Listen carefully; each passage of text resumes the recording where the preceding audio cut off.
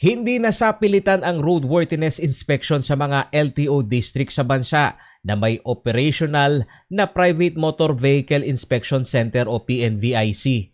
Ito ang iniutos ni Pangulong Rodrigo Duterte ayon kay Presidential Spokesperson Harry Roque nitong hapon ng February 11.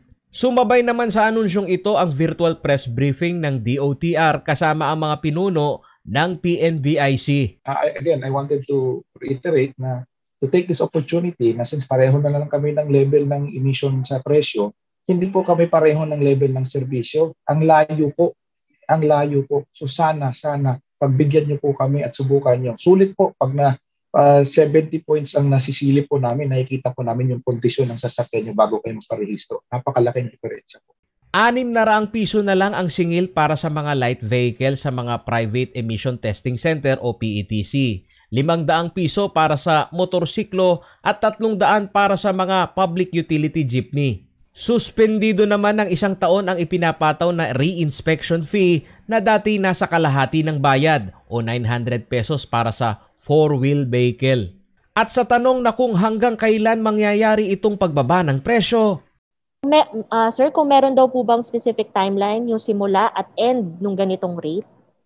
Uh, we had to agree to the, the clamor no, of everybody na habang pandemya eh uh, tawag dito uh, we have to hit uh, to that. Ano but uh, I will be honest with you we will be from time to time uh, checking with the with the Department of Transportation and the pulse of, of the masses. Samantala, dismayado naman ang Volunteers Against Crime and Corruption sa naging hakbang ng administrasyon na ibaba lamang ang presyo at hindi tuluyang i-abolish ang kontrobersyal na pag-roll out ng mga pribadong Vehicle Inspection Center. Ayon kay VACC President Arsenio Mangboy Evangelista, Ipinapakita lamang ng administrasyon sa publiko na tila untouchable ang mga may-ari ng pribadong vehicle inspection center. If you don't support this, you will be losing your political capital and also your popularity. Eh ganun na naman ako eh. Kaya yon I hope makadating imposibleng hindi nakakarating to eh. Tinitimbang lang nila bongo eh. Kung, oh. de, doon muna tayo sa child safety. Oh. Yun muna. Pero yung hindi nila matouch dito, yung PMVIC. Sinabi pa ni Evangelista na hindi sila bengatibo sa magandang layunin ng programa. Ngunit ang buti ng layunin ay nababahiran umano ng korupsyon na taliwas sa ikinakampanya ng administrasyon na wakasan ang korupsyon.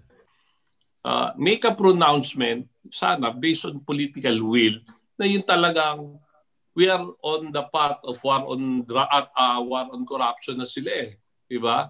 Tapos na yung war on drugs nila actually eh. So uh, they cannot blame us, ang sinabi ko din sa interview ko kanina, because we have bad experiences the past years. Walang delivery ng stickers, ng plaka, and we are here not to attack your agency, but we are here to save you, LTO, DOTR we uh, we are here to save you from uh, disgrace. Ang pagbubunyag ng VACC sa irregularidad sa pag-roll out ng Private Motor Vehicle Inspection Center ay nasundan ng magkabilang investigasyon ng Kongreso. Dito lumalabas na nai-roll out ang programa na nahuli pa ang Implementing Rules and Regulation o IRR. Gayon na rin ang legalidad ng implementasyon nito at delegasyon ng police power ng LTO agency sa mga pribadong kumpanya na minopolyo ang mga LTO district. Pinulsuhan naman ng CLTV News ang publiko sa hakbang ng Malacanang. Sir, ano mas magandang ginawa nila nun? Dapat ba pinasara nila ng tuluyan? Dapat po, tama po yun. Dapat uh, pinasara na pong tuluyan yung mga yon kasi pahirap lang po sa mga uh, katulad namin mga hindi walang masyadong kayang magpa-maintain ng mga sasakyan. Depende. Kung hindi naman mahirapan yung mahirap na tao, siyempre, para sa amin, mahirap, mahirap, hindi maganda. Sa tingin niyo po ba mas maganda kung ipasara na lang muna yung mga ganyan? Pwede po, opo. Hmm. Kasi yung minsan diyan nag-uumpisa yung mga krakot sa mga sa mga ano, kung ganyan, mas maganda dumaan na pati yun sa mga private eh. Kasi kumbaga sa ano, sa, sinasabi nila sa ano na lang, di ba? Sa LTO na lang, no? Paolo G. Santos, CLTV News.